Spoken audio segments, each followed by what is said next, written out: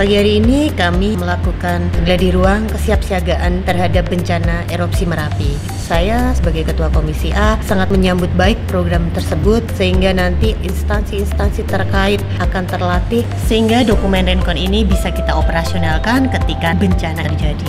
Evaluasi dari TTX Rencana Kontingensi Erupsi Merapi ini secara umum sangat baik, semua peserta berpartisipasi antusias sekali. Kemudian dalam sisi pemahaman dokumen peserta sudah memahami dan mengetahui tugas dan fungsinya masing-masing. Koordinasi yang dilaksanakan para peserta juga sudah sangat cepat. Di dalam titik ini kan ada semacam gladi ruang ya, banyak masukan-masukan di waktu tadi, maka nanti akan dituangkan dalam SK Bupati, sehingga itu sebagai dasar pedoman kita dalam rangka untuk mengantisipasi apabila terjadi bencana.